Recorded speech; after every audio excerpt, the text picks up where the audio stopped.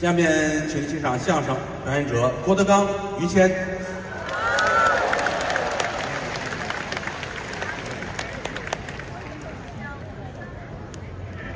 哎，听见了，谢谢啊。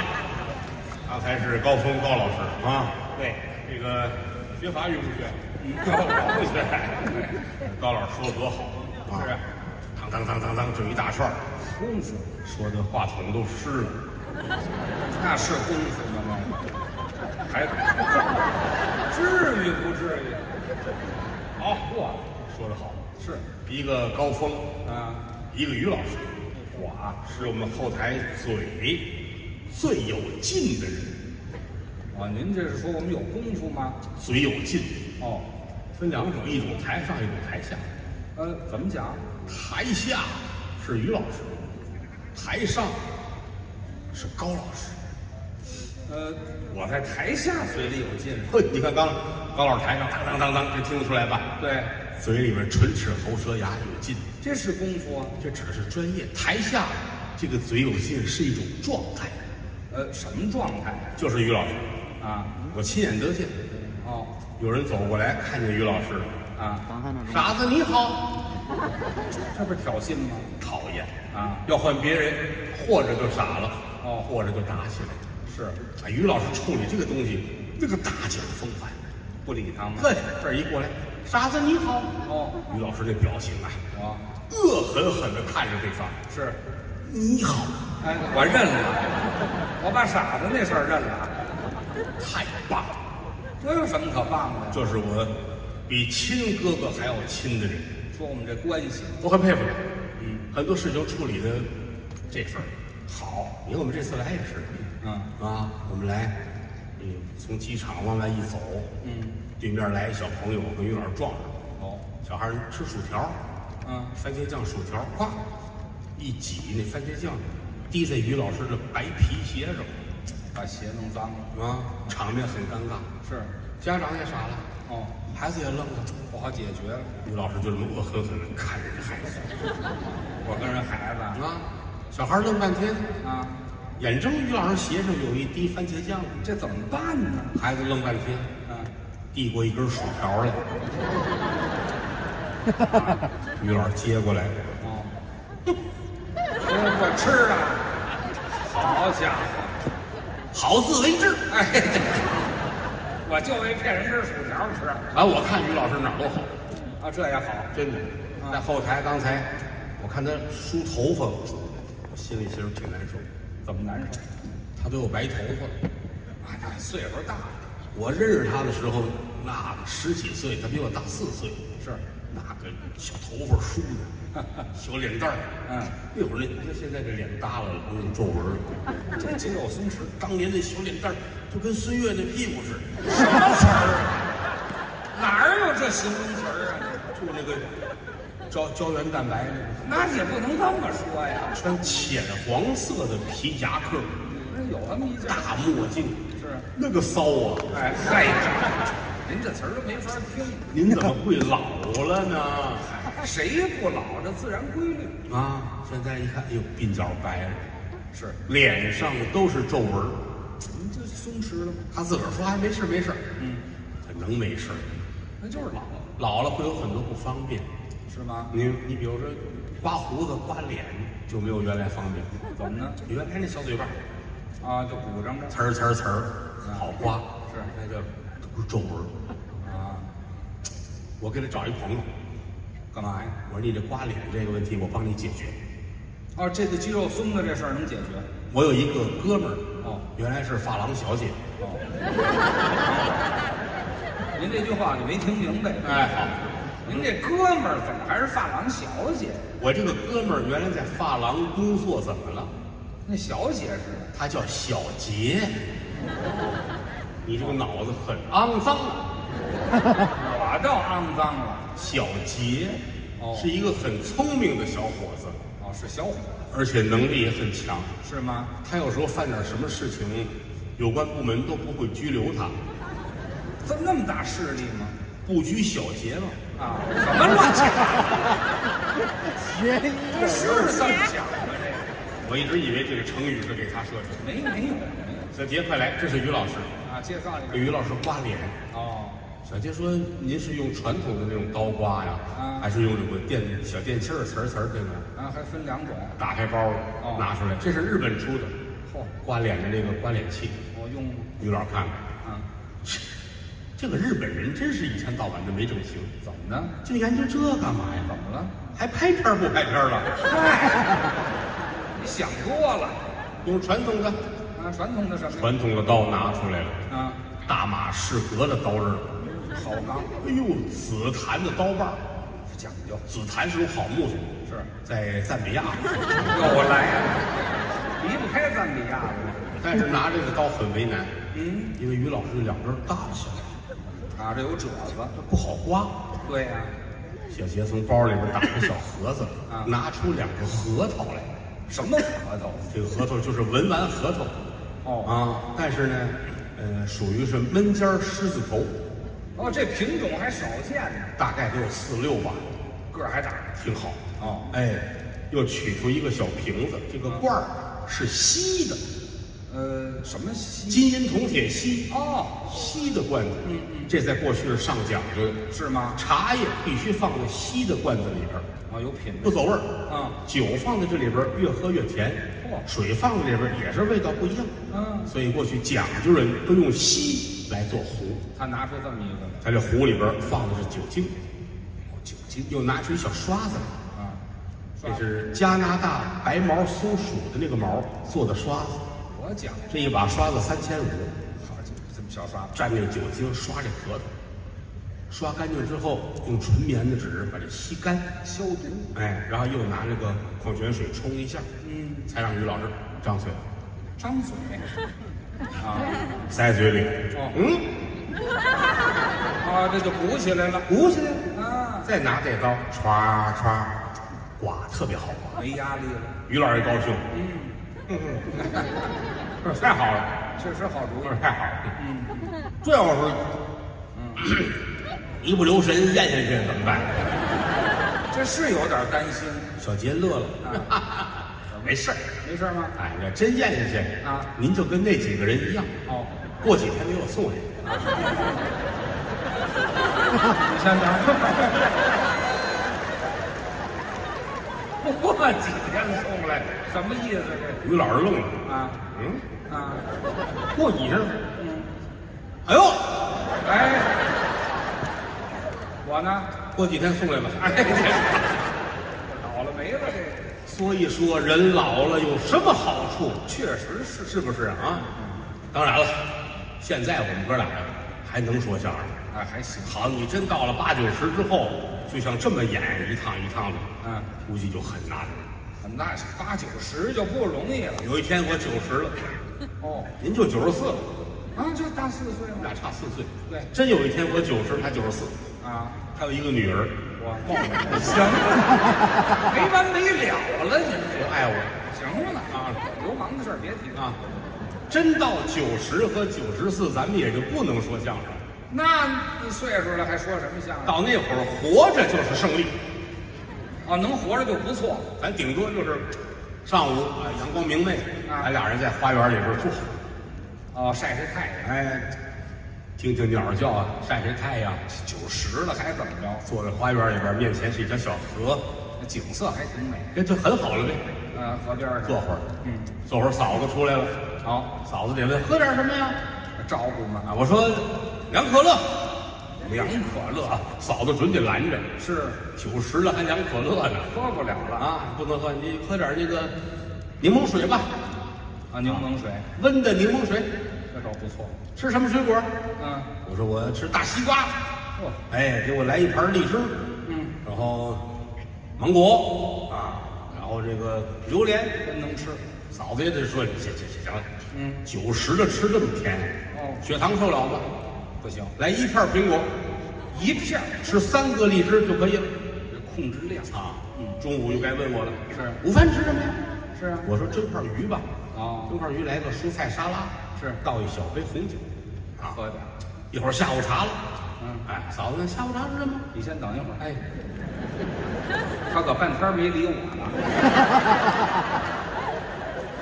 不是他呀，他问你了，你没说话，哦，你你你已经丧失语言功能了。那就不管我了是吗？一会儿晚饭了，哦，晚饭又给我弄了一点牛排，嫂子呢自己弄了这么大的虾，吃了两个，吃完聊会儿天儿看电视吧。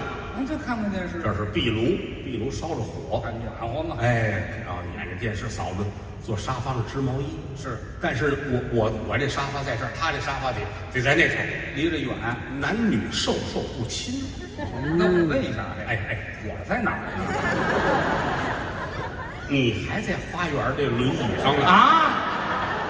那我可嘱咐您一件事儿，您说你们俩别忘了给我推下去，行吗？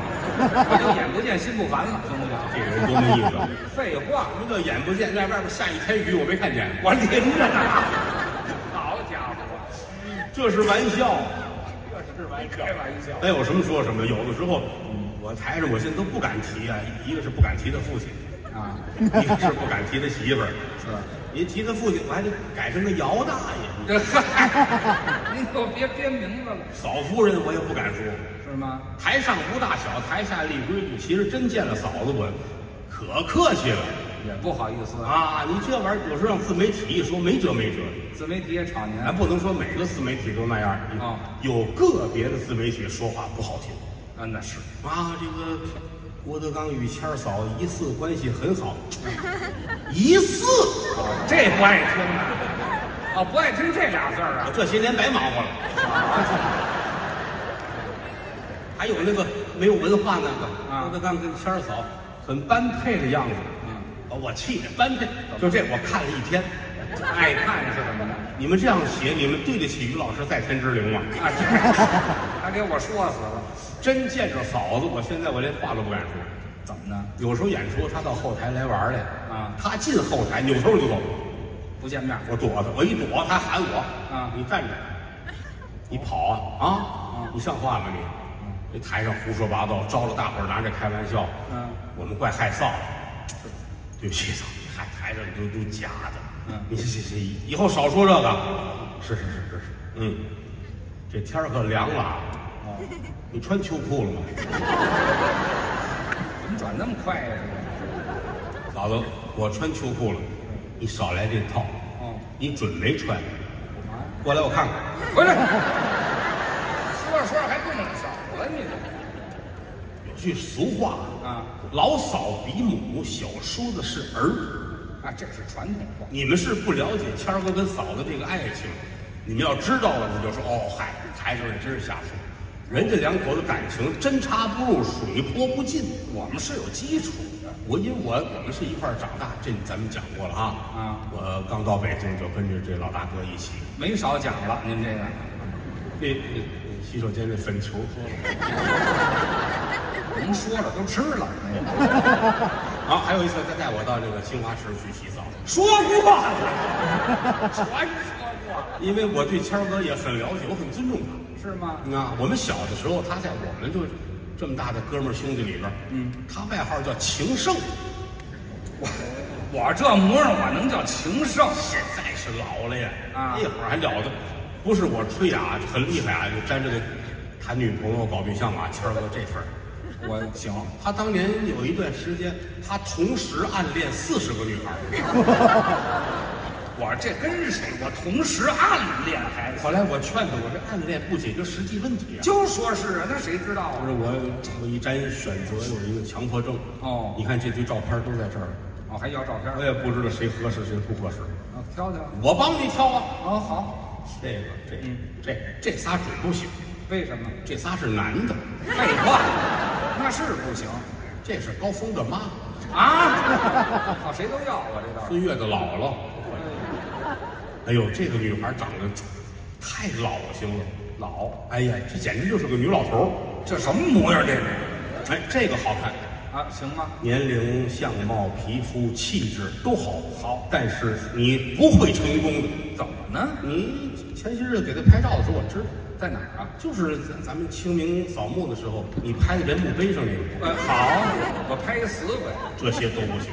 啊。最后我们挑了一个女孩，哦。我说这个你展开追求，哦，这小。哟，这女孩多好，怎么好？她叫李逵，哦，梁山上下来的，葵花的葵，那也是李逵呀，特别好啊。特别好。我说你你一定去，这行行吗？哪怕人家说不同意了啊你最起码心里也老踏实。那倒是，要不到老了你会后悔一辈子他遗憾呢。啊！谦儿哥鼓足勇气是啊，葵葵，嗨，葵葵你好就别重叠字了，啊，喊人女孩儿啊，那李逵很大方，是吗？你这鸟人，什么乱七八糟？这这还是李逵吗？这不是你这鸟人，鸟人了葵葵，啊？嗯，明天去看个电影吧？看电影不会，要不会看电影不会。啊？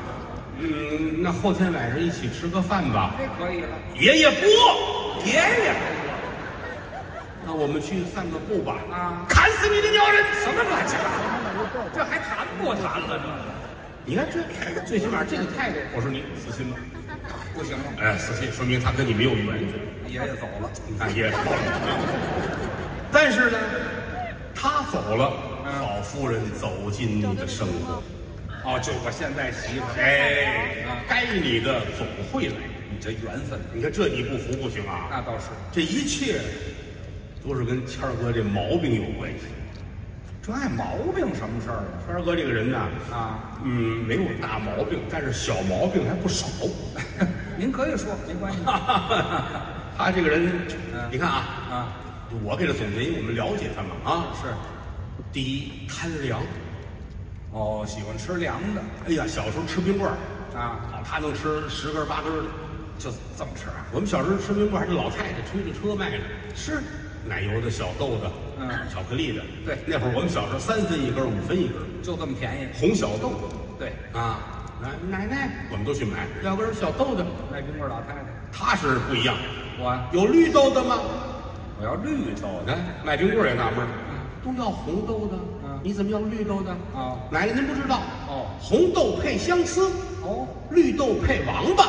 嗨，我给来个绿豆的。我知道的还挺多。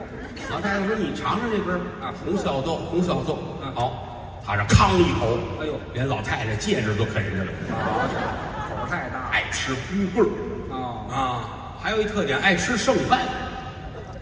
剩饭。他爸爸剩的饭他吃，哦，他妈剩的饭他吃，哦他哥剩的他吃，哦他姐姐剩饭也是他吃。管我吃。我那会儿问他，嗯我说你们家没个狗吗？真是他也愣了啊，啊，狗剩的也我吃。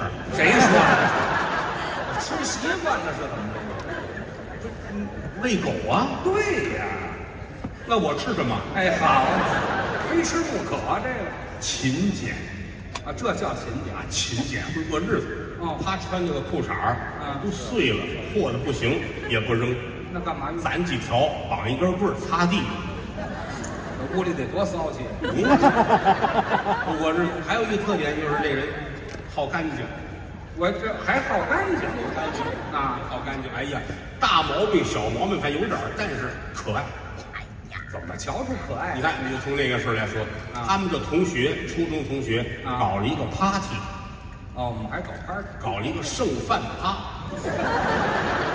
这就别 party 了，都剩了饭。啊，每个同学从家里带一份剩饭。啊。哎，你说我特意的炒出一个菜搁那儿不行，嗯必须是头天大家拿筷子扒拉完了的，剩的这每个人带一份。儿哦。四十多同学每人带一份谦儿不用带，我为什么不带呢？你负责吃。明白了，就是他们看我吃剩饭的 party，哎，对对对对对，不是吃饭的，忆苦思甜剩饭趴，剩饭趴。定的是中午十二点，哦，中饭，哎，十点他还没起床呢，我那么懒，他妈就喊他快起来吧，是太阳晒屁股了。北方都这么说。他赶紧爬起来，往屁股上抹点防晒霜，这咋的还晒会儿是怎么的？又躺了十分钟，哦，这才起床。嗯，起床其实到吃饭这地儿十五分钟，啊不长，他得收拾将近两个小时。我啊，他这个人洁癖，我还洁癖，洁癖，嗯，洁，清洁的清，癖癖好的好，我乱了。您不解释还好点儿起来先弄头皮屑，哎呀，咔咔头皮屑先弄干净了，还有头皮把屑，眼屎推掉洗一洗。啊，挤着鼻子上吹头，哎呀，掏耳朵，嚯哎，刷牙，啊，刷得刷二十分钟，刷完了抠这牙结石，我都那么刷牙了，我还有牙结石呢。搓耳朵根子后边这泥，洗把脸好不好？搓脖子上那刺儿，全长了，给嘎吱窝铺点粉，这没味儿？铺上粉了就不粘了，以前粘的呀。原来拉不开。好家伙，哎，胸前有三个粉刺，那怎么办？粉刺挤两个，那一个呢？还没熟，我还挺讲究。拿笔写上，我等你哟。嗨，我跟粉丝拿什么约会儿啊？哎，然后揪这鼻子毛，我还长毛。鼻须啊就支出来了，哎呦，对吧？平时思考的时候这样，我哎呀呀，哎呀，我留点胡子不行吗？但今天是剩饭趴，啊，不能让他知道不好看。哎，揪着饭。揪他，是人。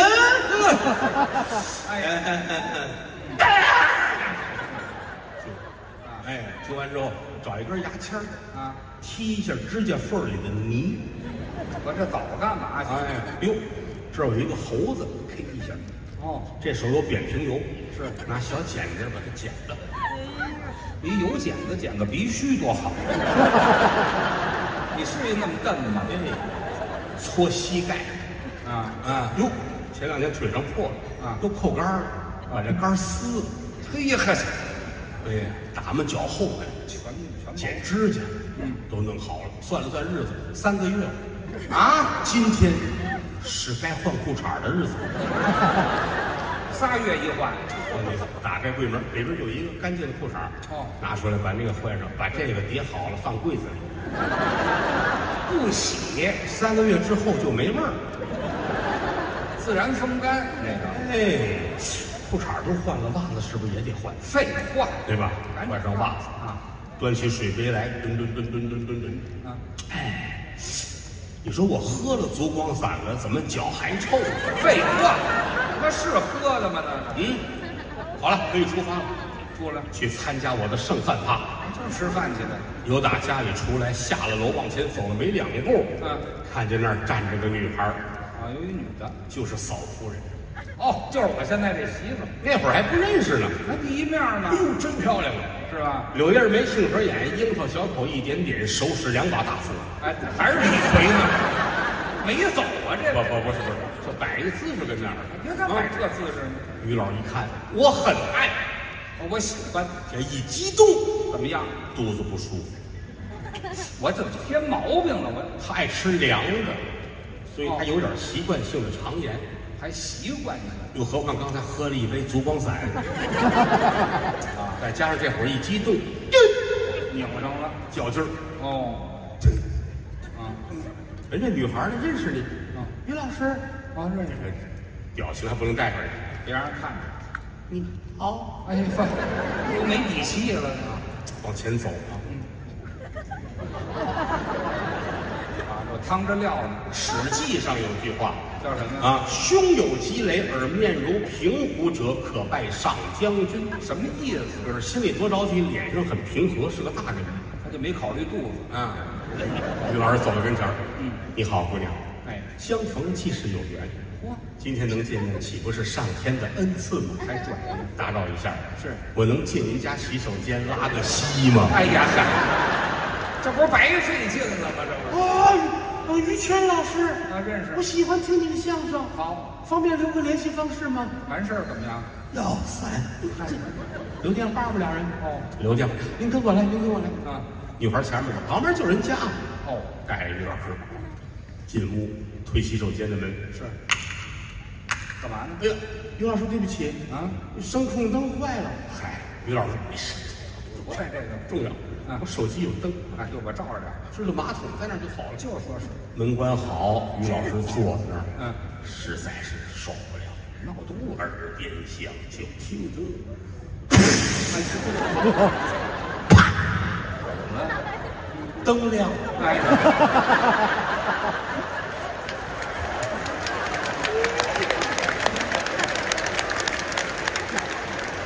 我把人声控灯都治好了，这个大可着房顶子那么一个灯啊，那么大块灯，三百个灯泡，亮如白昼。这还有亮的使。嗯，这还有时间看这个厕所，我观察一下，四面的玻璃墙，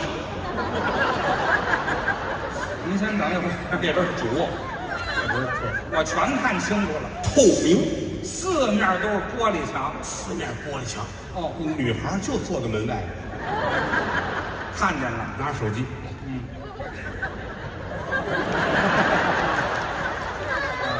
先看手机，先啊，给给你发短信，那会儿还没有微信呢。哦，短信。于老师认识你很高兴，哦，于老师赶紧给人回，相逢就是缘分。我喜欢听您的相声啊，有机会来看现场。你让他进来聊聊，不就差一玻璃了吗？方便完了，于老师很尴尬，啊，哎，不好意思，对不起啊。是啊，女孩说没事，也也没看过沉浸式拉屎。哎，用得着沉浸吗？两个人迅速的把关系就拉近了。啊，我们就好上了。愿天下有情人终成眷属，是前生造定事，莫错过姻缘。这说的多好，你看一步步走过来，俩人多好。嗯，谦儿哥每天想着这么一件事情：什么事儿？我怎么对我老婆好？我们这好，确实好。嫂子想的就是我怎么能对我老公好？你看互相的吗？不是，人家这个感情。对，你看有段时间，嫂子问我：“哎，大哥，嗯，那谁谦儿爱吃什么呀？”我说：“你要干嘛呀？”不是你告诉我，我给他弄个让他高兴就好。我他爱吃剩饭，别提剩饭，还有那个什么那个要冰棍儿凉的，啊，老太太的戒指。还想起来哦哦，哎这些日子好像就净吃凉粉儿，还是凉的。爱喝凉粉儿。嗯嗯，听完之后，嫂子就去买那个豌豆粉的那种淀粉。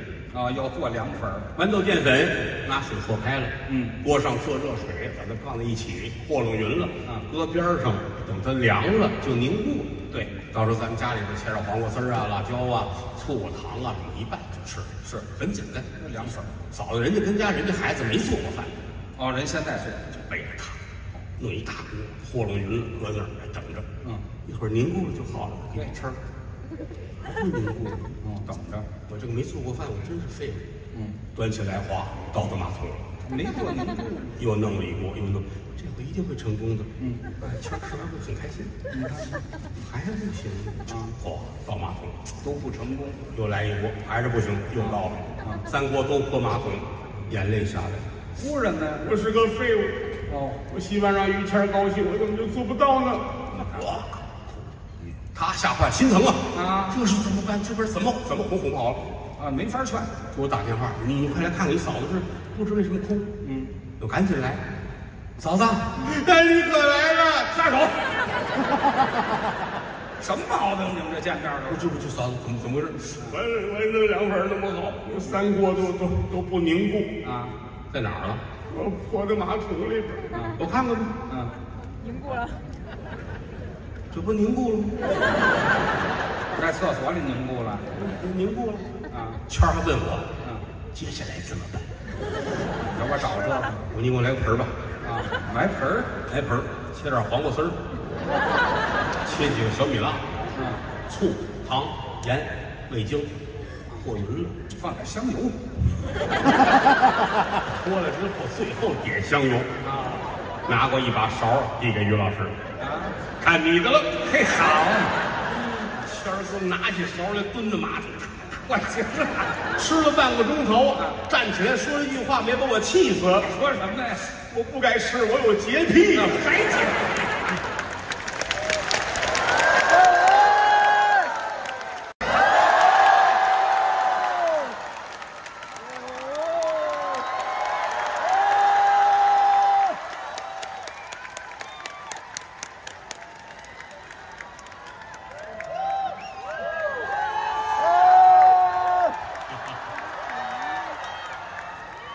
谢谢谢谢谢谢啊，谢谢。哎，谢谢谢谢谢谢，净是男的爱于老师啊。这个这个地方叫深圳，是好久没来了啊，啊，很多年了。好几年没来了。嗯，这个最近演出特别的多，一场接一场。是前些日子在苏州演，是，苏州把我热坏了。哪儿都热。然后他们告诉我说，到深圳就好多了，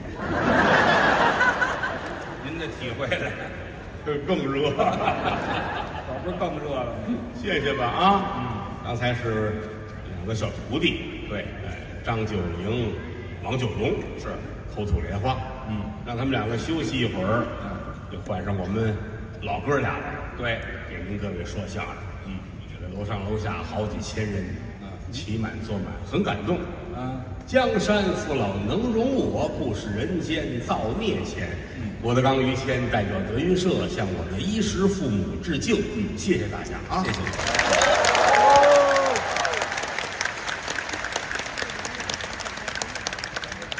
我们哥俩在一块儿合作好几十年了，啊，是，无论到哪儿去，身边站着谦儿哥，我就放心。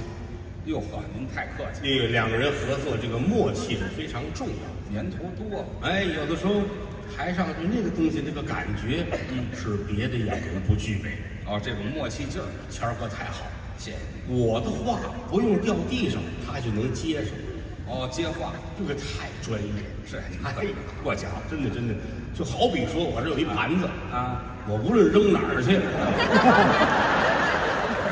吴老师去了就给你接回来。啊，我有时候也磕在牙上。不是每一个演员都能做到这一点。不容易吧？回头一想，我们哥俩合作好几十年了，嗯，我很感慨。真有感慨的。我进北京的时候才十几岁，哦，年轻万幸，嗯，那会儿就认识谦儿哥，啊，进北京我们俩就认识。我人生的领路人。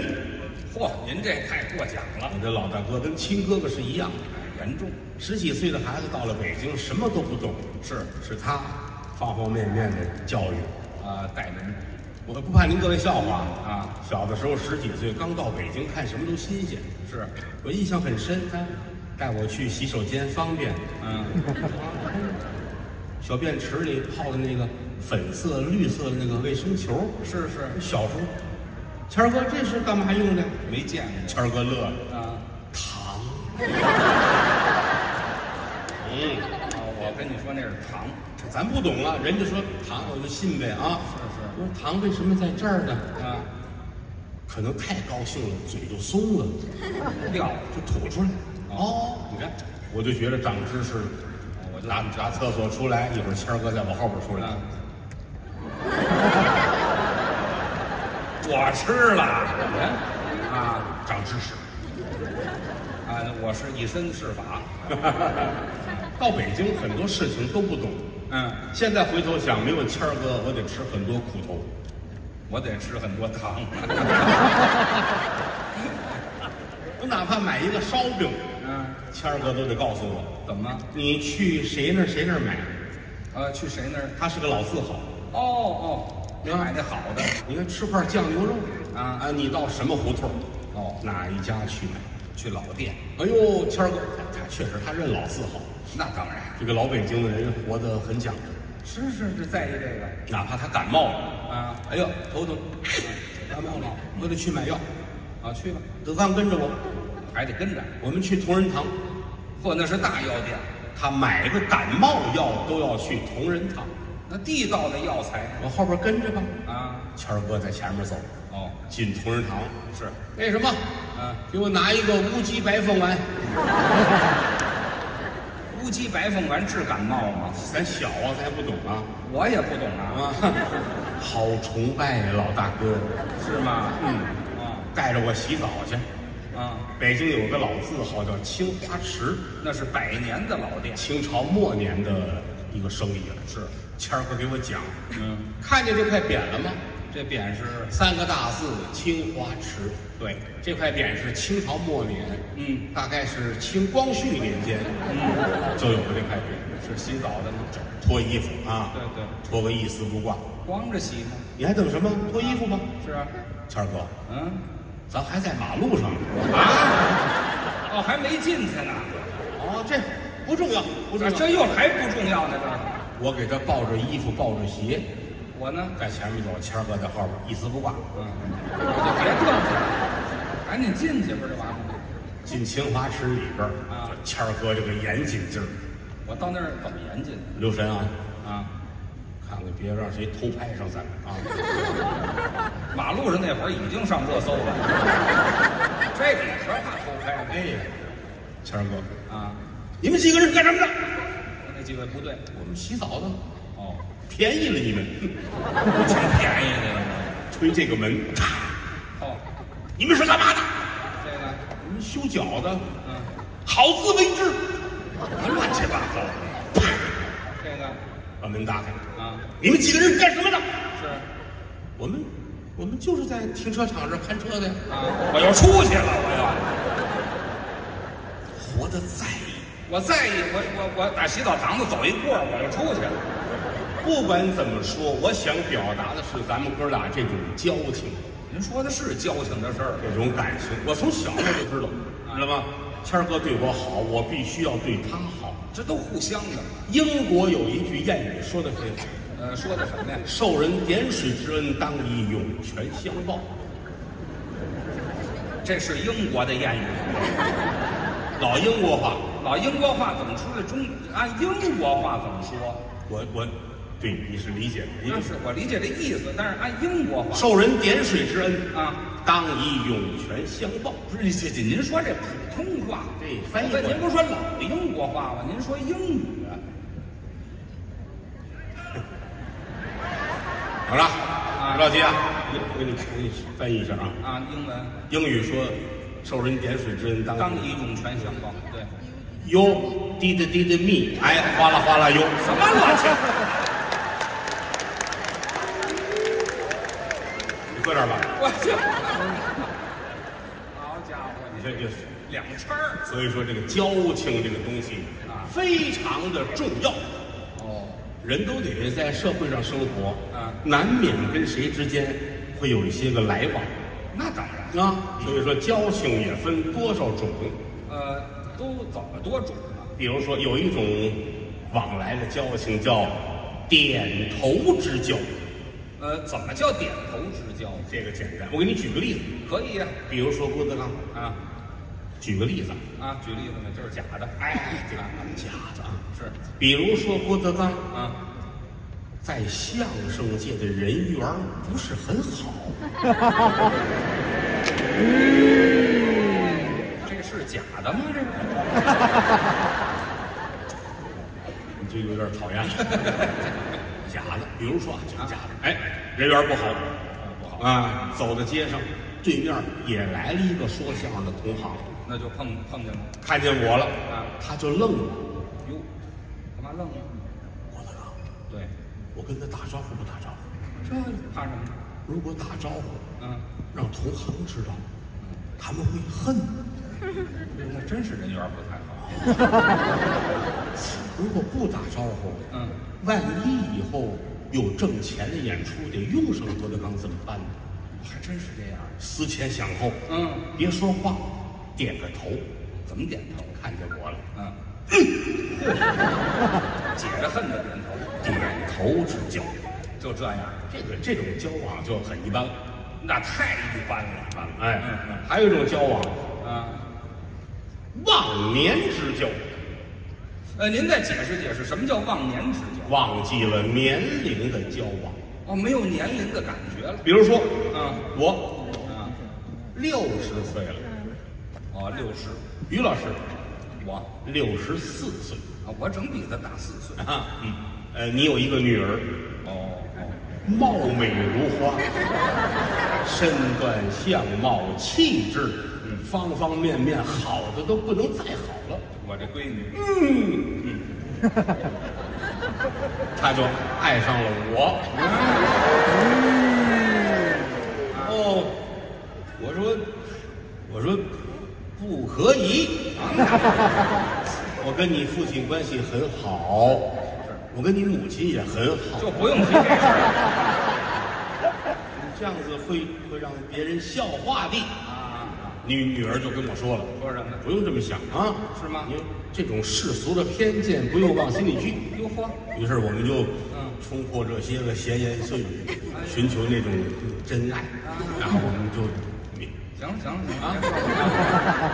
你这流氓就是流氓啊！什么忘年之交啊？这忘年之交，没听说过大概是这么个意思。啊？像这些交往都不重要，嗯，真正了不起的交情，什么？生死之交，我就过命的交情，那个了不得呀！患难的。比如说，比如说咱哥俩，好咱哥俩患难之交，啊，怎么个意思？我给您举个例子啊，好也不哪一些例子啊。啊，于老师，嗯，于老师是一个出色的相声表演艺术家，嚯，我就就到那个段位。哎，艺术家，艺术家啊！艺术家。嗯哎，您的从艺之路非常的坎坷，就，怎么个坎坷呢？因为您这个人本身是从小就喜欢相声。那肯定。您跟相声大师马三立、哦侯宝林、刘宝瑞这些个先生啊都不认识，我都不认识，你说他干嘛？但是您有很强的艺术熏陶。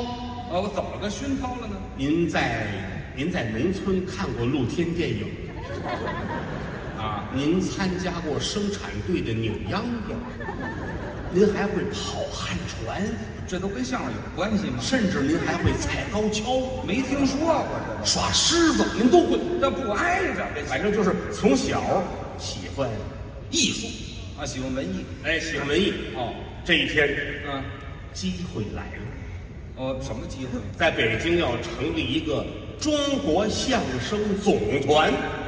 我靠，这么大一个体制，哎呦，于老师高兴坏了，这有我什么事太高兴，属于我的春天来了。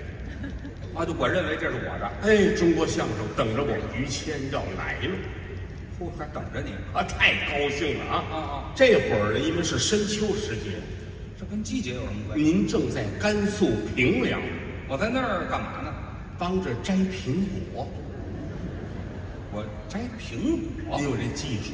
哦摘完苹果之后，您要赶到敦煌，敦煌干嘛？棉花下来了，我要收棉花，然后到湖南去那儿。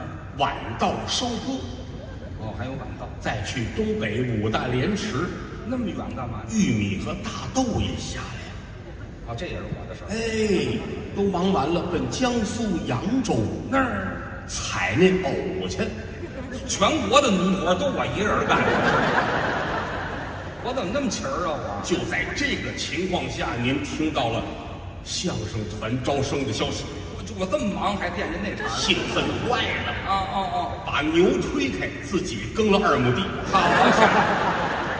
哎呀，我比那牛劲儿都大了万幸啊！这个时候您在河北省石家庄，我我又上那儿干嘛去了？秋冬季白菜刚出苗，哦，我就见苗去了这个事儿我干不了了，啊！对，我得去北京，嗯参加中国相声总团。他们等着我呢，临行前给广西南宁打一电话，跟那儿有什么联系？豌豆苗的事儿我去不了了。我就别惦记了，我都艺术家了有打石家庄您就奔北京，啊，那得去哎呦，万幸啊！啊！您有这个跑旱船和扭秧歌这底子呀，这一路先等怎么着？？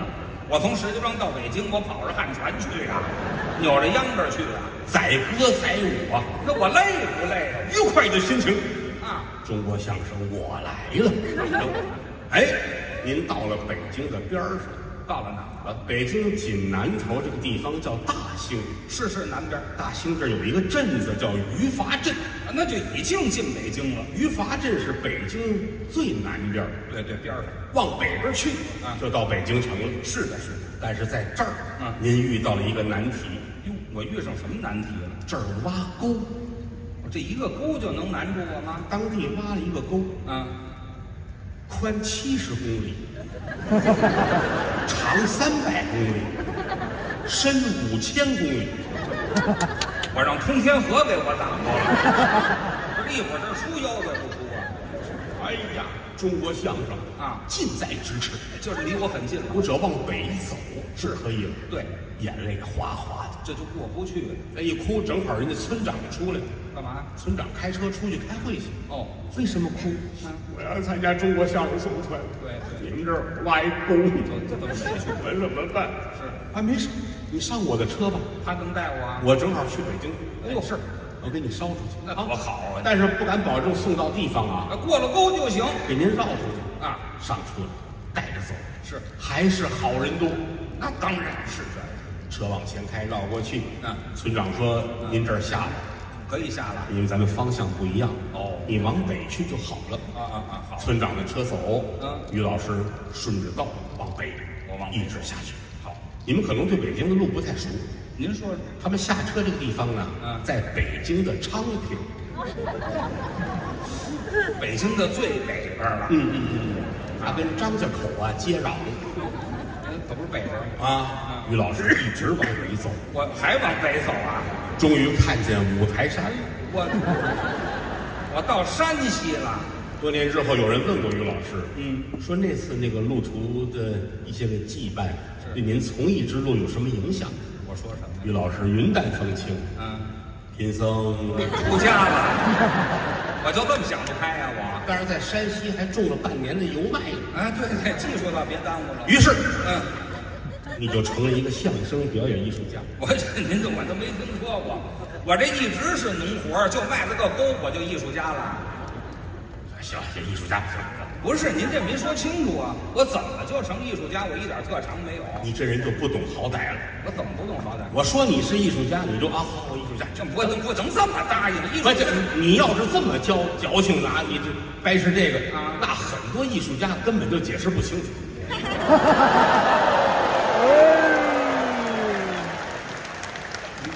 你呀、你认倒霉，你就是艺术家，好不好？我我我还认倒霉，我这个你就是艺术家。行行，我艺术家吧。当然，有人要问他怎么就对艺术家呢？啊因为因为你提升了自身素养。哦，我我倒才提升哎，怎么得怎么也得编出一个理由来，对吧？啊。你提升了自身的修养，哦，怎么提升自身？你扶老太太过马路，我这就提升自身。哎呦，这一天过老过马路七百多次，有那么些老太太吗？可着一个扶啊，好家伙，我给老太太累死了。来回呀、对吧？老太太没有就咱记着一个来呗，哦对不对？这跟计件儿是一样的。哦，来来去去的扶老太太过马路，啊。给给老大爷找儿子，怎么老大爷儿子就老大爷坐这儿抽烟呢，哦你过来了，老大爷，您的儿子呢？对呀、我儿子上班去了，哦，上班儿不要难过，嗯以后我就是你儿子了。谁让你当的？哎，多感动！我感动什么呀？人儿子上班，人还下班呢。你再找下一个老大爷，哪儿这么些老大爷？我给人当上了高了素养，啊？就这个，还干过这个给渔民打水，你这我没听明白。哎渔民这不是挨着水吗？我给人打什么水？渔民在船上撒网打鱼，你你拿个盆快点水，是要水吗？啊，渔民也很高兴，是滚！给农民喊加油，我给农民喊声加油。农民伯伯跟那儿种地啊，你站在边上，加油加油加油，我给人这么喊，净干好事儿。我干去不好吗？第六，都说演员最高境界是德艺双馨，是是，你虽说没有艺，但你一身都是德，那管什么呀？我这你比那个一身都是艺的强得多。嘿 哦哦对哦哦于是，于老师是一个相声艺术家了。我艺艺术家，这一年你已经七十三岁高龄了。这艺术家的日子还挺好混。嗯，你每天下午两点准时在天津德云社对面的马路上说相声，我在对面的马路上说相声。因为你这种演员见不了屋顶子。哦哦，没没有顶棚。对对对，一有有屋顶你就空间这难受，必须看见太阳。哦，那不那对面净是我们这哎观众朋友们。哎，对，哎呦，你这些粉丝嗯就围着你啊，听你说相声，哎呦，给这六个人热的呀。就六个人呢，有一个是孕妇还没生呢，那，就不在那名额了，那就。给于老师扔钱，啊，哎呦，哗楞楞，哗楞哗楞，全是零钱。哗楞哗楞都是。有有整的，是吗？一捆一捆的给你扔钱，哎呦，哎，每张上面都印着玉皇大帝，冥币呀、这就点火。于老师拿钱来喽。嗯，这话非僧了。那是啊，自媒体也来了，还有媒体呢？拍于老师。哦，要报道哎，呀，发头条，发抖音。他写什么呀？哎，老艺术家红扑扑的脸蛋儿衬托了郭德纲的黑心。啊我那是晒的啊啊！这么优秀的艺术家，德云社是不是应该给点股份？嚯、啊，就类似这种话语啊啊！于老师很高兴。是这一天机会来了，我用什么机会？在你的人群外边进来一位老华侨，可算来点正经人了。来自赞比亚的华侨。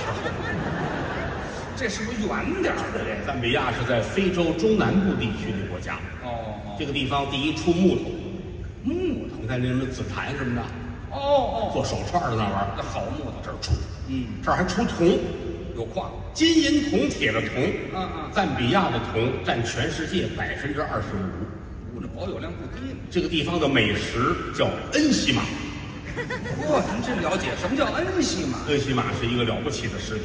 您说有一种农作物叫玉米，知道吧？我太知道了，太知道了，干干一辈子这个了，我才不知道这个。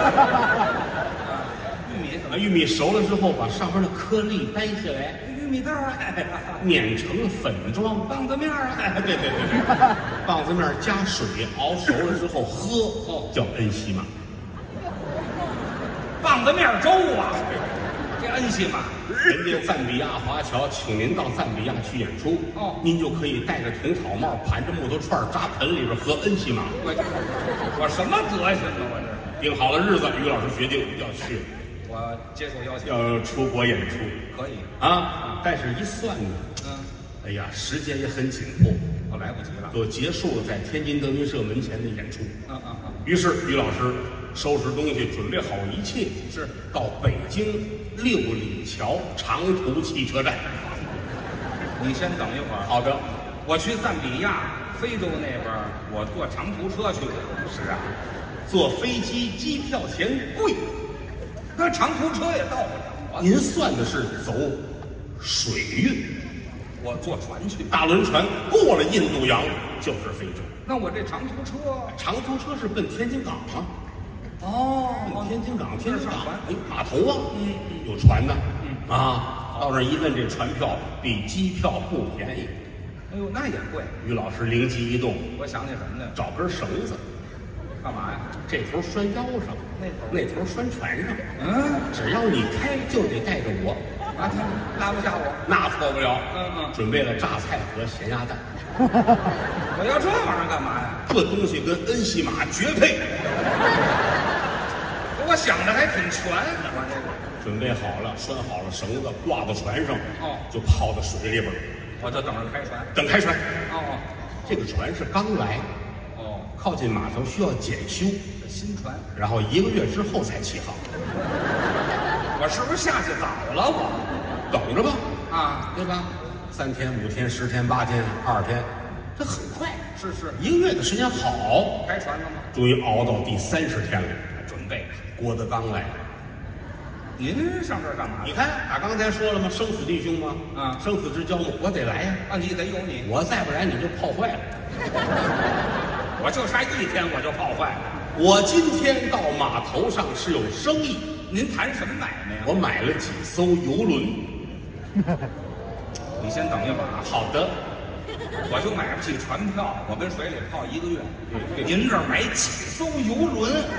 就是那个那个小游轮，四十层楼高那种小。我 四十多层楼高那游轮，那是世界第一了，那都我是。今天我是来接船来的，哦，带着我儿子来的啊。带哪个？但是 郭麒麟拍戏不在家，哦带着老二吧，哦，带着带郭汾阳来。带郭汾阳。我这跟人说啊，哪艘哪艘，要不是小孩儿他耽误事儿呢，怎么呢？他小他要撒尿，小孩儿呢？小孩儿等不了了，嗯，他觉得站在码头上往水里边尿是可以的，那当然可以。他就站在岸边儿往底下尿，是，底下还有艺术家呢，这谁能想到啊？这啊，艺术家正等着开船呢，啊转着绳子呢啊，啊！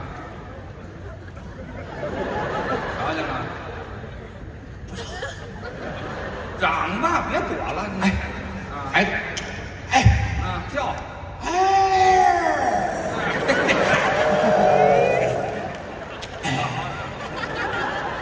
我这一点儿没糟践小孩吓坏了，啊。坏了，怎么呢？有妖怪，没听说，什妖怪？喝尿药，没听说，哪有这妖怪？吓坏了我了。怎么了？看过我，于老师，这这才认出来，那哎呦，怎么是于老师？怎么能不知道我呀？您最近没上德云社门口骂街去？还是这个？啊，您这挺高兴。嗯我在泡海澡，哎，这回就别美了。快快快捞上来吧！啊啊，给于老师揪上来，是，一问怎么回事儿我说说，他把事儿一说，嗯我眼泪都下来了。难过。你为了省机票，你至于？哦，给他买去，怎么着？您给我买？那是给他买头等舱，啊，好票。送他去。呵，于老师乐坏了，嗯坐飞机了，啊，头等舱吗？坐头等舱，飞机起飞，好极了。哎，奔坦桑尼亚。嗯，哎，不对呀、您，不是赞比亚吗？我怎么奔坦桑尼亚了？说相声的都有心眼儿，我这留什么心眼儿？这要是告诉郭德纲去赞比亚，万一他抢到我前边去了怎么办？怎么着？怕恩下不够分的是吧？我至于这么小心眼儿吗？我绝不能同行之间说实话。啊，怎么着都不能告。哎，就告诉你上坦桑尼亚，而且坦桑尼亚跟赞比亚挨着，啊，接您对不对？哎，哎呀，坐在飞机上，于老师还想是。说错了，说啊，应该说俩人去，俩人去的，让他再买一张票，哦。我就能把那张票退了。退了还是年轻了，嗯，少一笔收入，还挣钱，那也不行，我也恨他啊还啊是，我也恨他。我在海里泡三十天了，嗯，他买游船，我得找自媒体骂去。还骂嗯，我就说他接游轮那天，他带着二儿子没带老大，说明他偏心。嗯，嗯，一带节奏就会有的。呵呵哦，我带这节奏，等我回来，我再害人。嗯，哎呦呵，飞机就奔坦桑尼亚去了。我就落了。一落地，于老师出来，坦桑尼亚有一个自然景观，什么景观？动物迁徙。对了，那儿动物多，草原上瞪羚角马，对狮子、长颈鹿一望无边，全是动物。这些动物正准备迁徙呢。是一回头看见于老师了啊，动物都愣了，艺术家，不是这都动物都认识我，嗯，就是就是动物认识你，嗯，动物这个玩意儿最灵啊，哎呀，提鼻子一闻，怎么样哎呀，这个这个人没有人味儿，啊？追他，这追，哇，一望无边的动物追于老师。于老师扭过秧歌，哎呀，我就别提这个，一路就追到了赞比亚。合着我是迁徙过去的，跟动物一块儿来到赞比亚，于老师乐了，啊。正是请您演出的那个部落。啊，我还到地方，今年是个好日子，怎么着？今年玉米丰收了。啊，这是这好日子，哎，此地要搞一个恩西马庆祝大会。这玉米丰收嘛，对呀，酋长带着部落正在唱赞歌呢。唱赞歌的天。哎，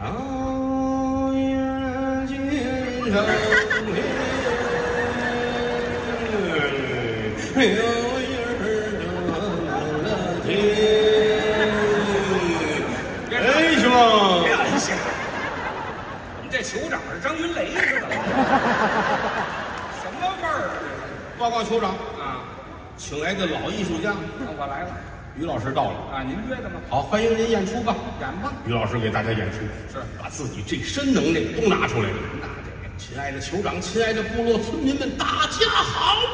呵给您演出非常的高兴。嗯在过去的一年里，大家很辛苦，才有今年的玉米大丰收。是是希望我们的恩西玛庆祝大会圆满成功。嗯最后请欣赏我这个小包袱，我这个笑料。酋长啊，酋长，我好像是你的儿子啊！什么乱七八糟 村民们都傻了，啊？这是才当的顺呀！好家伙，哪儿的村民？您的艺术已经骗不了非洲土著了。好家伙，世界都知道了，嗯！酋长一挥手，捆上，急了，伙儿过来给于老师捆上了。嚯，捆您是很方便的，怎么呢？你腰里有一根绳子哎，我这绳子就没解下去，吧啊，你想的是回来的时候吊着船，又省一趟路费。啊，全想到把绳子给于老师捆好了啊，找一个锅，把您跟玉米面放在一块儿，嗯兑上水，底上架火，干嘛呀？人家要做肉汤的恩熙嘛。哎呀，这帮孙子可开了荤。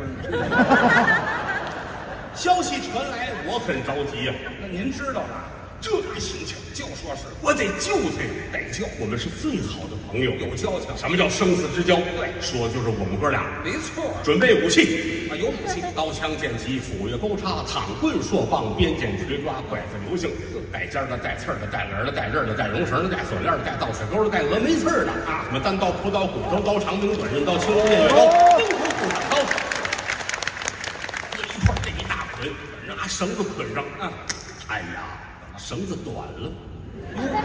要是把于老师那根解下就好了。就别想我这绳子了这一大捆扛在肩上啊，奔机场啊我要去救于老师。上飞机，空姐儿说：“您这个不能上飞机。”哟，好好，再见。我就回去了，就没这么大的事了是吗？回了家，坐在那儿看着时间飞逝，我很着急呀、那应该着已经过去四天了，啊，再救还来得及吗？那我就脱骨了。哎呦，不行，我得救。是啊，不管了，不顾了，不顾了，不管了，管不了了，顾不了了。是西边的太阳就要落山了，弹起我心爱的土琵琶，唱起我动人的歌谣。这都什么乱七八糟？您想点实际的，我得救于谦，救啊！掏手机让酋长那边啊，把人放了，完了，这事儿是你们商量好的，把于老师接回来了。真救回来了。生死之交啊！那错不了让您坐在正当中，大排宴宴，端起杯来，我要给您接风掸尘，这多好！于老师端着酒杯说句话，差点没气死我。我说什么？我想喝恩熙嘛。上去。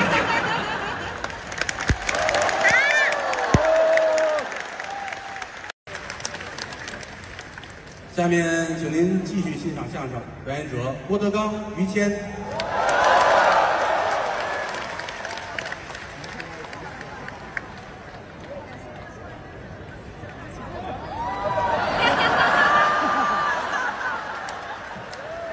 以后这么高的演员，别让他来。其实话筒你看搁到哪儿都能听得见啊。都说于老师老骚包唱的，来一个，来一个。不要难为于老师了。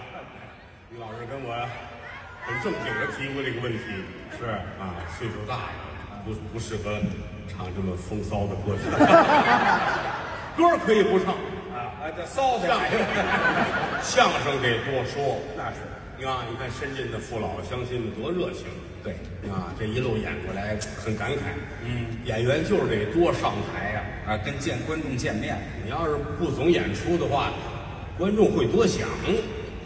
观众有什么可？哎呀，哎，最近没看见高峰啊？哦，您说的是高老板对呀，德云社说相声的高峰最近没演啊，没演，怎么是不是出事儿了？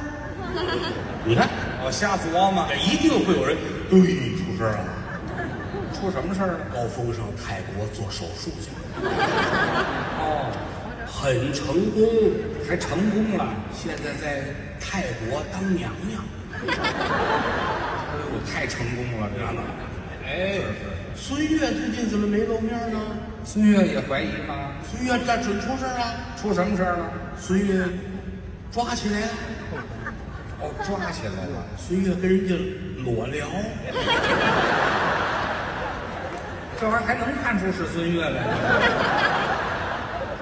对方是一个常年吃素的人，结果人吐了。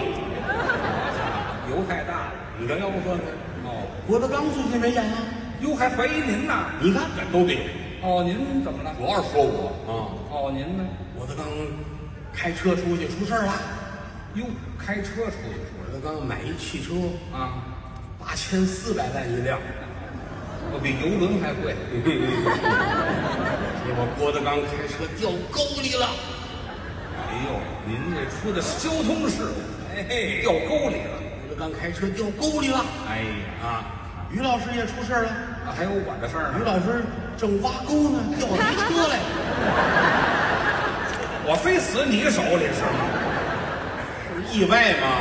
这算意外啊？我开车咣掉沟里边儿啊你在沟底下正挖沟，正砸上，那医务人员得救咱们呢。那是得救啊，来四十多个医生护士，来的及时。来二十多个修车的，干嘛修车的跟这儿起什么这都都咱都摔了一块儿都烂了呀。哎呦，先把我弄上来，我这伤势很惨重，啊，你受伤了？给我贴了两个创可贴，没怎么伤，这个呃，坐在边上，给我开一瓶凉啤酒，你先压压惊还喝着，啊，赶紧收拾这底下，哎呀，这这都乱套了。这是怎么乱这块儿这块儿是于谦吗？啊？就这么点儿一块儿啊？那时候不是，这块儿是汽车的。哎，好，这都分不出来了，对，你看这，所以说咱们得多演。赶紧演吧。那那是那是啊。那是，天为罗盖，地为毯，日月星辰伴我眠。什么人撒下名利网，富贵贫困不一般。也有骑马与坐轿，也有推车把担担。骑马坐轿修来的福，推车担担命该然。骏马驮着痴呆汉，美妇人常伴着夫眠。八十老翁门前站，三岁顽童染黄泉。不是老天不睁眼，善恶到头这报应循环。怎么想起来念这么一段儿啊？感慨感慨什么呀？啊！你看这几句顺口溜，嗯，其实没有多高的文学修养，那您说的是什么？他提的是人生的命运。哦，您感慨的是命，郭德纲、于谦，咱俩的命运是什么呢？咱俩什么呀？好好说相声 就是这个命。啊！嗯，咱不是说封建迷信，对，因为人生好多事情根本是无法左右的，嗯，怎么叫无法左右？很多事情也是咱们不可避免的。您说老老多人说呀，人呐、有命有运，嗯，其实很有道理。哦，这命运是有道理。这儿放着两碗米饭，啊。两碗米饭。是。这碗米饭被人吃了，嗯，经过消化，排到厕所。了，嗯，这就是他的命。啊，这是米饭的命运。他这个命就是被吃、被消化，排在厕所。哦，那碗就没有被吃，那那就是他的运，哦，对吧？他的运好，没被吃。但是放一段时间长毛了，也得扔到厕所，哟，那还是他的命。那一样的，人对宇宙的了解最多是百分之五，了解的太少。很多事情咱们不知道。嗯，你比如说在这地方，他看见一只蚂蚁，哦，拿起这个蚂蚁，找一瓶子给它装上，嗯，揣在兜里边儿啊。我打这儿坐飞机奔长白山，对吧？到长白山把它倒出来，嗯让它看看山，看看树，看看雪，是装好了还拿回来，再往这一倒。嗯这个蚂蚁跟那些蚂蚁说：“我今天飞了，看见树，看见这个，最后如何如何。”那些个蚂蚁准得认为他疯了。没见过。人的愤怒都是由于自己的未知。这么回事。你想着吧。所以说，人随遇而安，哦，把心搁当间儿。像咱俩好好说相声，就是这命。说别的没有意义。对，哎，相声是咱们的兴趣，又是咱们养家糊口的手段。嗯老天爷对咱们不薄，那是挺好的。你不能说，哎呀，我这个不相信这些东西，我怎样怎样，我没有看见我就不信，不能这么抬杠。没看见就不信，真有这个哥们儿，啊不是我亲眼得见的，我就不信，不信吗？没有必要。是吗？WiFi 你看见了吗？没有。你没看见 WiFi，你能说 WiFi 没有吗？那咱不是一直用着呢吗？声音你能听见，你能看见吗？嗯，您看不见声音，是是，你能说声音没有吗？那能听见。对吧？嗯，秦始皇、朱元璋、乾隆，你们谁见着了？没见着就没有过，那都不科学，哦，对吧？我说没上你们家去，你就以为我没去吗？你没看见，不代表我没去，只不过我去的时候你没在。哎，什么时候来的？废话，你这话题转的也太快了。所以说就很感慨啊咱们好好说相声。是，曾经有朋友问我，嗯怎么能说得好啊？我说这个玩意儿很简单，您说说说相声四个字儿的秘密，啊？雅俗共赏。这个我们倒经常说呀，这观众干什么的都有啊什么素质的都有。哦哎，单纯的雅不行，单纯的俗也不行，雅俗共赏。这个是雅你雅不过昆曲啊。昆曲是雅致啊。清朝的时候，清政府要求大家都听昆曲，哦因为它雅。是啊，乾隆四十四年，清政府出过告示，啊，北京城都不许唱地方戏。地方戏全不许唱。地方戏当年有一个叫魏长生的演员，嗯乾隆四十四年，他进了北京了，嗯好家伙，把昆曲挤兑的没饭了。哎呦，昆曲演员到衙门告状，嗯清政府出的告示，唱地方戏的捆好了，送回原郡。我打回去。那会儿你唱地方戏都是犯罪。嚯，乾隆五十五年，乾隆过生日，嗯，又号召地方戏进北京给皇上贺寿。哟，这地方戏进北京，团结一块儿，发展出一个戏剧叫京剧，哦，彻底把昆曲打败了。你有政府在后边撑腰，你雅的文化都没有形成什么样的状态。嗯所以太雅不行，哦雅到极致不风流，这是话。太俗也不行。太俗怎么不行啊？于老师一上台就把裤子脱了，那是不行啊。哎我觉得今天这观众素质有待提高。什么你们都看呢？这个所以单纯的雅，单纯的俗不成世界。那倒是。那怎么能够雅俗共赏呢？哎，对呀、于老师脱了裤子唱昆曲，哎，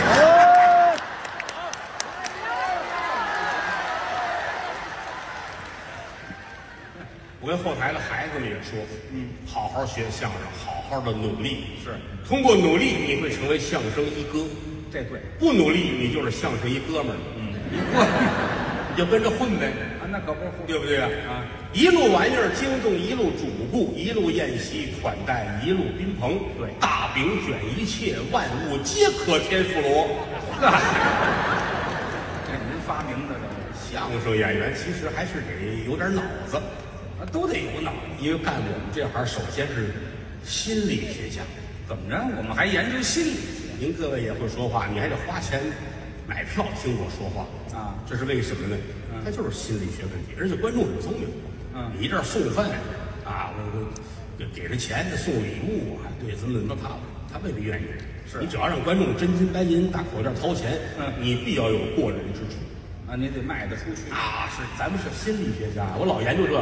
是吗？我给你举个例子，嗯有一种食品叫大肠，啊，你甭管猪大肠什么大肠吧，啊大肠是装那个的东西，啊，对，这一说就大伙儿都明白，对？吧？把它洗干净做熟了端上来，人们很爱吃。对，很好吃。你来个碗也装上那个，嗯，然后倒了把它刷干净，刷的再干净，这个碗你也不会用。你说这个怎么研究的哈？你看，对不对？啊，您去哪儿教你去？确实是。端一盆水来，啊我洗完脚，让你再洗脸，你准不干。多新鲜呐，能干吗？但是你到游泳池你还扎猛子，这是为什么呢？你看看，可能嫌一个人洗的味儿不够，呵，太恶心了，您说的，是不是？你得研究这个确实有道理。啊。所以从我们心里边尊重观众，但是要考虑观众的喜好。那当然，我们老研究人，嗯，天下人分三种，哪三种？第一种是好人，哦第二种是坏人。哦，好人坏人是互相牵扯，我都互补。互补，这是天道。嗯你天下都是好人，这不现实。是都是坏人不成世界。对有好人有坏人，互相牵扯，起一个平衡作用是是，除了这两者，剩下就都是糊涂人。糊涂人是什么？你说什么他都信。啊，轻信你看你你你照敢写啊！啊，于谦是郭德纲的亲生女儿。这什么乱七八糟？你看这乐乐这都知道，这是胡说八道。可不是吗？你只要敢把它发到头条上去，啊一定会有人信这这人倒是不少。哎，来一个人给他一嘴巴，你糊涂，怎么可能？啊他马上对你说的对，又过来人咣给他一脚，就是，他也马上对，就是。这得谁信？所以有一成语嘛，啊，于是郭女人啊，什么成语有这个？这我刚编的，哪儿啊？很正常。嗯，所以说有的时候网上谁要说您点儿什么给您造谣，你别往心里去。你比如有人说你是郭德纲的女儿，你就承认就好。我没听说过，我就承认了。哎，你这有人给你造谣，你就信。我啊，哎，当然也也有人给我造谣。哦，也有人没没有，我的一般都是我自己传，干嘛非自己传？别人传的我不放心，想有这事儿，我怕他们传的没有我说的狠，知道吗？没人管我呢。哎，所以这回演出站在深圳台上很高兴啊，好几年没演了啊！你看我大概算了算，现场不得有个六七千人吧？啊，差不多，很高兴啊，是很高兴。这种演出其实不好做。呃，大型的，哎呀，搞艺术的人，其实我们最要了解的就是四个字儿，啊，人力可为。哎，这我没明白，什么叫人力可为？有的事情人力可为，有的事情人力不可为。我们研究这个什么？老艺术一定要明白这个，有的很多事情是是人力可为的。怎么叫人力可为的？您比如说您，说不行，您不是不是德云社的演员，您这又是举例子。比如说您是一个，你是中国相声组团的演员，哦，我过了沟了。比如说吧，我赶上了。哎，您去参加相声大赛，哦哦，参参加参赛。相声大赛只有一个一等奖啊，哦，评委们这这怎么弄啊？是。给谁不给谁呀？哦，应该给他，嗯，因为他祖宗是说相声的，哦，就家传。他应该给，这也应该给。这个呢？大赛的钱是他拉来的，哦，人家资方。对不对？这个也应该给。这个呢认识好几个有有用的人，这有分儿这个打起来了，嗯对吧？最后大伙儿实在没辙了，得了，啊别别要了，是哪怕给个傻子，哦，哎，给你了。说傻子还吵着我。你看，啊就是人力可为嘛，啊，他决定他决定这个事儿哦啊。武术比赛，这个呢。武术比赛，咱俩人啊，咱俩人比赛哦，我善使青龙偃月刀，啊，耍大刀。你的特长是指甲刀，我 俩人大战三万回合，你猜怎么样？我那我就碎了，我还 这明眼人一看就知道哪个准赢，哪个不能赢。哦哎，还有包括比如说您是一个电影演员、哦，我我影视剧演员，影视演员评级，这都是人力可为。影视演员这这怎么还您是一个出色的电影演员，演演电影？您接下来要要评选三级，我是评演员，是评电影啊。您现在是四级演员，哦，还不够三级，哎，您打算上一格成为三级演员？还得进步嘛。啊，其实您已经有很多好的电影作品了，我都有过什么演出？你拍了好多电影啊，什么呀？床上床下，床头床尾，床前床后，床塌了，哟，床碎了，愤怒的邻居等等。我有这么多作品，我都应该是三级甲等了，我怎么还四级呢？您所在的电影制片厂历史悠久啊，叫八宝山电影制片厂。有这电影制片厂吗？八宝山是烧人的地方肯定是没有啊？没有才能说呢。怎么呢？你知道你你看大伙儿这乐，你知道谁跟底下正拿本儿给你记录呢？啊，哎，这句话值得汇报是的，啊！小汇报，写完了站起来，他跑出去了，汇报去了，对吧？你说八宝山电制片厂，嗯他这儿写，写完站起来出去了，哎，给找人有关部门，郭德纲讽刺八宝山电影制片厂，是人有关部门一看这个，滚，不信 这就没事儿。是，咱们都省心。哎，他也回来接着听相声啊，都踏实。对对对，嗯，你是八宝山电影制片厂了，哎，这行就这么说吧。好吧？啊，你很着急啊，高什么急？就着急评级啊，啊，就就就那三级。要当三级，机会来了，什么机会？厂子里要拍一部新电影。啊，有演出。如果这个要是成功的话，你就能调节了。那我赶紧争取角色呀！你是男一号，啊，还已经排上我了。女一号是苍井空。有他带着我，应该可以。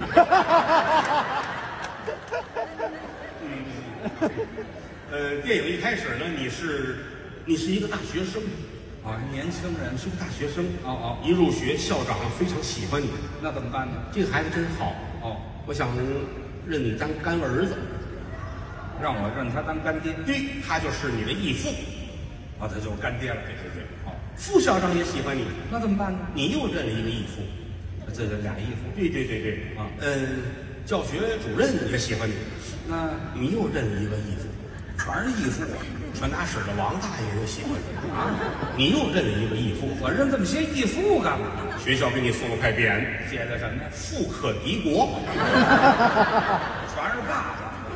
国民义子干殿下别起啊，很棒哦。过了些日子，学校送你到夜总会去实习，那我专业倒是对口。嗯，你就站在那个站在那儿，那玩那个电磁炉啊，我玩电磁炉干嘛？那叫什么？这个就夜总会打碟的，你在夜总会打碟，知道吗？打碟，胡骂娘是什么话打打碟？打碟哎，就这个过程当中，啊！女一号出现了，就怎么苍井空来了？苍井空来了，哎，一见钟情。是啊，你也喜欢他，他也喜欢你，剧情就这么发展一个爱情的故事开始了。啊！这演吧，后来呢，夜总会把你辞退，啊，辞退，说你着装不符合规定。我着装不行。哎，所以人家这儿只允许无上装工作，我 呢你连下装也没有。好家伙，我就是光着去的，是吗？嗯，于是你很愤怒的就走进了清华池，哎呀，还提这个出来很后悔啊！没有跟苍井空留个联系方式。我们断联了哎呀，很难过呀！啊后来你又找了一份新工作，啊！又来一个有一个跨国的一个出版公司，哦，杂志，哎，它的总部叫花花公子。这也不错呀。这对对，你是他的分公司，我们这叫花花孙子。我我怎么降了味儿了？你在这儿你是总编呢，啊我还我当头了。因为你能你能胡编的，你在这儿总编啊。哦，我我懂了，哎，第六，嗯哎，苍井空来了，这就是缘分嘛。你俩人又碰见了。你觉得这个机会不能再丢失，那我得跟他说，买了一个大钻戒准备求婚，速度真快。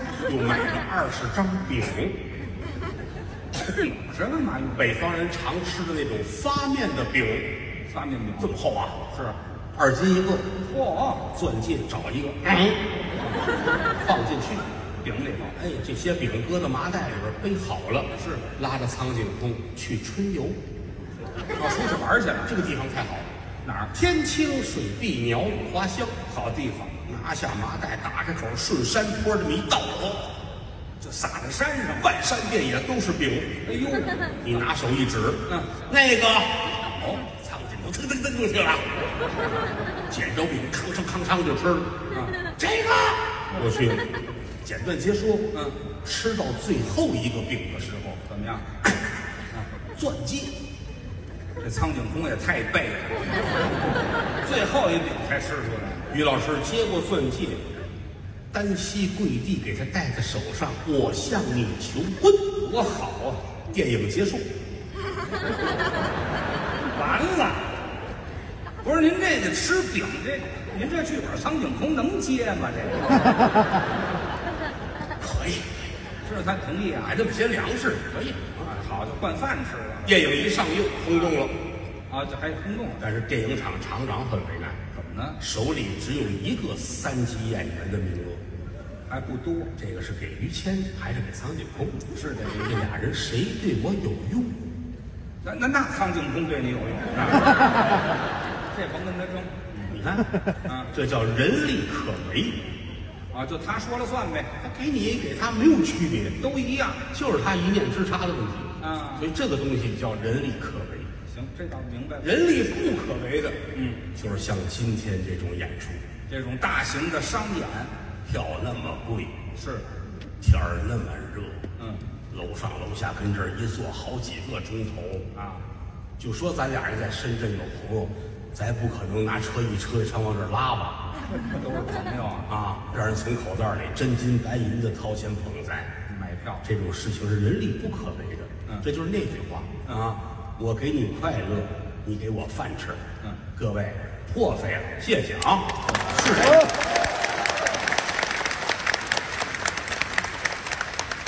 说相声是天下最简单的事儿，是，但也是最难的事儿。哦，你两家相声园子，这儿一家，这儿一家，这家都坐满了，这屋里边三块钱一张票，还管饭带抽奖，赔死了这位。一等奖老板娘领走你，哎呀，这没人去，没人去，你说怎么办呢？对吧？你说把于老师勒死，挂对过门上，他也不解决问题，你拿我起什么事啊？还是得有真能耐。那是说相声四门功课，什么？脱鞋就唱。脱鞋唱啊，说学逗唱。你看刚才我们那俩演员，嗯，谢金就是那小个儿，对，小个儿，大高他个看那腿假的啊，他其实比我矮半头，我给他买了木头哦，接的腿，那个木头是赞比亚的，咱 在那儿有朋友，哎，我拿绳子勒回来了。说相声说学逗唱，嗯，说，嘴里得干净，那是功夫，坐在剧场的任何一个角落，每一个字儿，清清楚楚送到人家耳朵里边。那个乌了乌秃，嘴跟棉裤似的啊，就别干这个。没功夫。学学说话，学方言，学表演，学动作，学各种的唱，啊，唱叫学是逗，说相声得逗啊。那是最基本的。说半天啊，观众不乐，最后让人拿绳子捆上了，搁到锅里边儿，搁棒子面儿做水，我还你得得救我去。您怎么说回去了？你不逗就别说相声了，那倒是不是啊？嗯，还有这个唱，嗯，唱叫太平歌词，啊，这是我们本宫唱。因为别的唱的人都有专业演员，是唯独这个太平歌词说相声必须会唱。啊。您刚才谢老师他们也都唱，对啊，我也给你们唱两句，你们听听好吗？赶上了，喊一什么呀？想听什么呀？嗯叫小芬，嗯众说不一。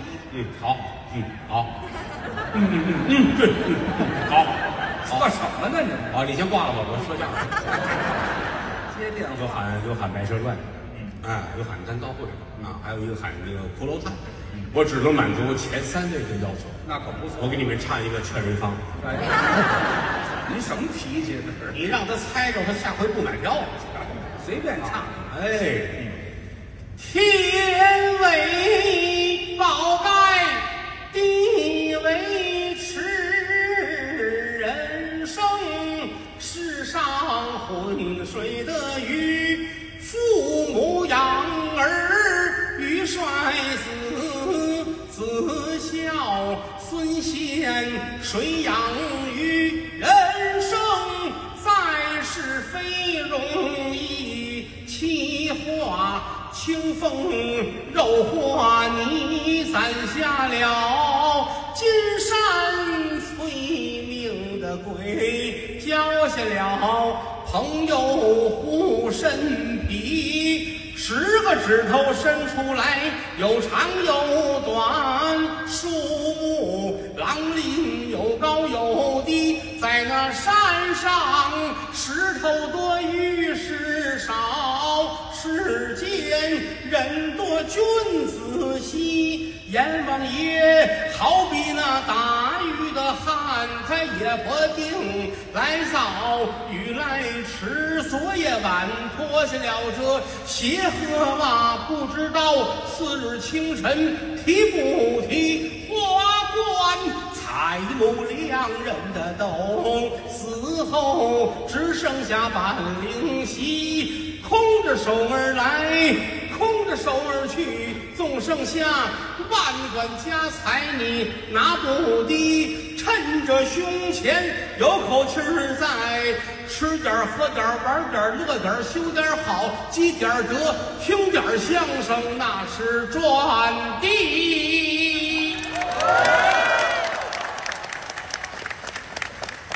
太平歌词。劝人方啊，你除了这个之外，再唱什么，嗯，都是学，属于学唱啊。德云社这些年沾学唱的节目太多啊，唱的多。啊。你看张云雷唱什么《清水河》，唱这唱那个啊。对呀对，你们都都听过。是清水河，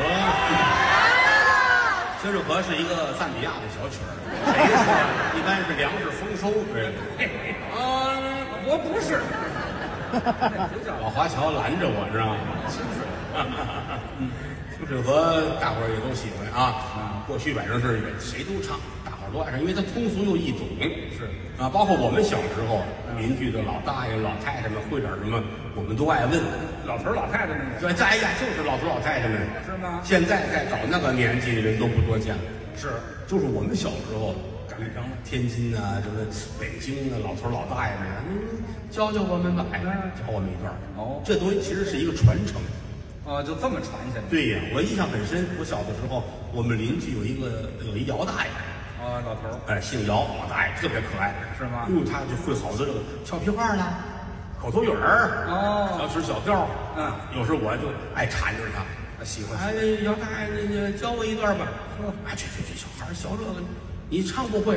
啊咱想辙呀，给人干点活儿。干什么活儿啊？他抽旱烟，您呢？呃，我给他摘那个烟梗子。旱烟不搓完之后嘛，里边有烟梗子。讨好老头儿，他那会儿是拿那个报纸卷这个那时候都是报纸。报纸干活儿，对老头儿卷一根儿啊，啊还点错了，点错了，对，就这么粘着拿着啊，啊一点讨好啊，啊！大爷一拿着，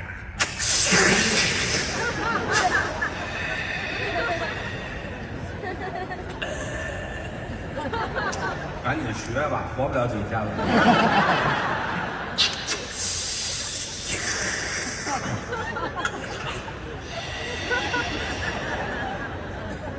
还过得来过派呀？你这要不你明儿来吧？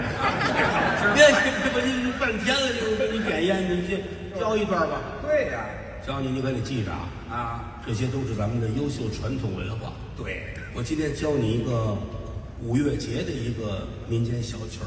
你看还在讲究，五月初五端阳节，是是，纪念屈原。哎，这一天也叫五毒日。哦民间还有传说，张天师捉五毒，这老头儿祈祷国泰民安。嗯嗯，这是传统文化，记着记屈原啊，五月节嘛，楚国大夫屈原啊。好好啊，哎，跟你说这你听不懂啊，你先唱记着啊，教你唱。嗯屈原的那个。五月五啊，嗯，五月嘛，五月里呀，月儿照花台，忽听门外有人叫乖乖，原来是我的情哥来，情哥你走过来呀，情哥你走过来。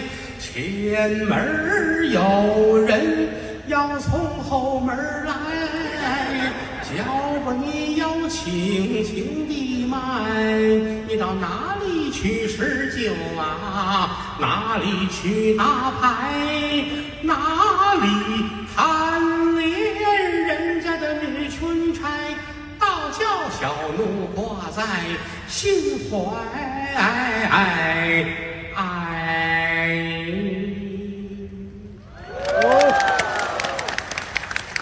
屈原哪儿有屈原那个？啊，你这这唱的倒不错，这给小孩儿听有点过还哪懂还啊。姚姚大爷教了教了就唱呗。哦，学哎，过些日子他见还问哦，那会了吗？我还复课呢。唱一遍，你给他唱一遍。哎，好，行，记住了。好，再教你一个《哦，还还教《西厢记》，知道吗？西厢记》知道？张生、莺莺，对，他们的爱情故事，是是。追求自己的理想幸福。哦啊。哦，嗯，等着。啊，来，他拿瓶啤酒，哦，还喝，清清来，西厢，来吧。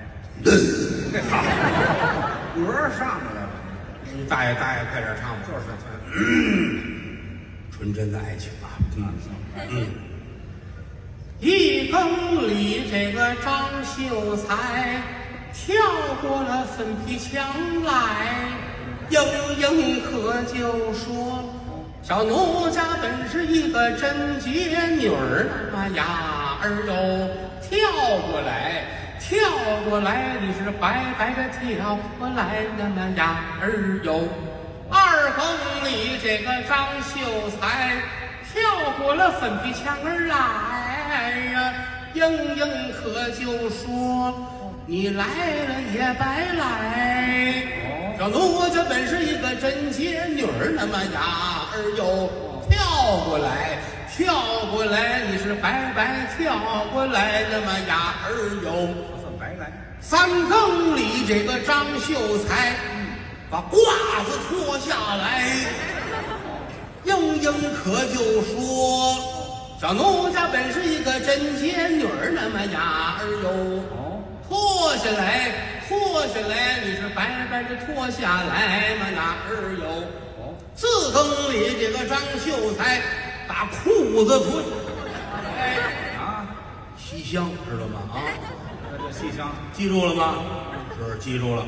哎，回去还得背，你背这唱。要这么下功夫。过两天又看见他了，嗯老大爷，嗯，我还想再学一段。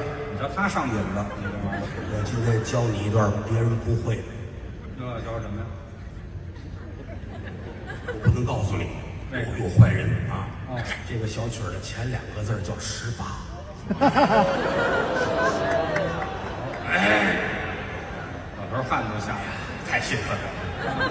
但咱们这个跟他们那些个不一样，是不一样。咱们这叫十八不让摸。你看，很高尚。老头儿有文化呀。啊，同样的一个东西，你换个名字，意义就不一样。那是你看，我想跟你睡觉，这是个流氓；是我要跟你一块儿起床，这是徐志摩。看看老头儿我教你这段啊，要教还没教呢。怎么样？警察叔叔来了，我说什么来着？给老头儿扔走了背下来了，啊，大概待了十五天，放回来了教唆犯了。啊。老头儿回来了，我很着急啊。